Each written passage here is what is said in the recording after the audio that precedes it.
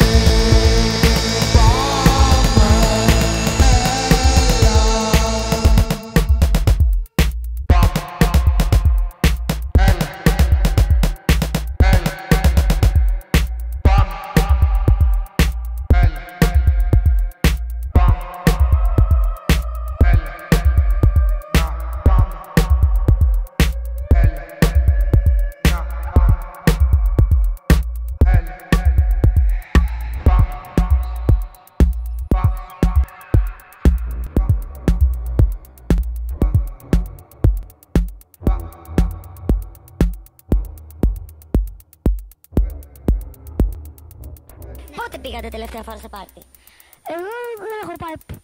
Πέρα από πέρσι. Πάμε να φύγουμε γρήγορα.